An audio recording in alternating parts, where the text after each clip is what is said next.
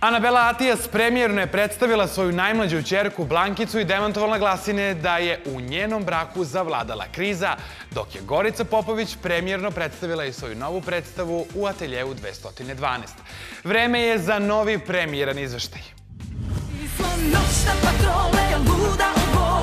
Navikli smo da je viđamo u društvu najstarije čerke Lune sa kojom je izgradila prijateljski odnos, ali Anabela Atijas svakodnevno iza kamera uživa u ženskoj komuni koju čine ona, Luna, Nina i najmlađa čerka Blankica. Kada četiri devojke krenu u šoping, ni malo mami nije lako. Evo vidiš kako izgleda, mora svaka po svome, ovaj, ja više ne umem da im izaberem. Premijerna ekipa najmlađu Blankicu poslednji put videla je kada je napunila godinu dana. Sada, nakon što je napunila tri godine, konstatovali smo da neodoljivo podsjeća na oca, Anabelinog drugog supruga Andreja Atijasa. Malo je stidna, morate da je razumete, sad smo u toj fazi kad se malo stidimo. E te vidim, mami, na koga ličiš?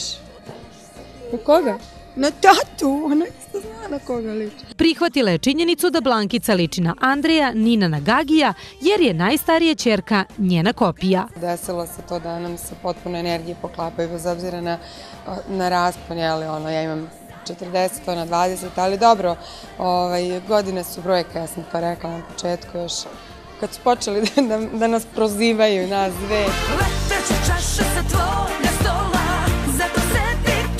Anabeli je najveći modni kritičar njena čerka Luna koja je otvorila svoj blog Luna Đo. U butiku za mame i čerke Gina Fashion pronašla je idealnu kombinaciju za nju. Ovo je onako jedna Anabela koju rijetko možete da vidite, ali ponekad poželi tako da se ovaj, osjeća romantično. Ta dečja garderoba više nije onako dečja kao što je ranije bila, nego su jeli, ono, moderni kao i mi i tako u toj smanjenoj ove, veličini još savršeno zaista. U šopingu samo im je nedostajala Anabelina rođena sestra Aida Bukva koja gradi glumačku karijeru van granica naše zemlje. Ona je skroz drugačiji tip, ona je uh, neko ko potpuno je onako sušta suprotnost od mene, uh, da može nikako ne bi ovaj, izlazila pred ljude, a to joj je posao.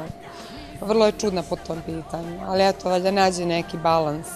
Mislim da se ona sasvim dobro osjeća. Prvo ide Biedermajer da se žene tuku Tvrdi da je i upravo porodica bila najveća podrška u najtežim trenucima kada se razvodila. Razvod, ma gde god da se desi u bilo kojoj zemlji, ovaj, podjednako teško pada, ono, kažu da je to mala smrt ali ovaj, bukvalno ono živiš kao da ti je neko umr. Danas uživa u harmoničnom braku pored Andreja Atijasa i ističe da je ponosna na svoj poslednji singl koji je snimila sa grupom Luna, a koji nosi naziv Biedermeier.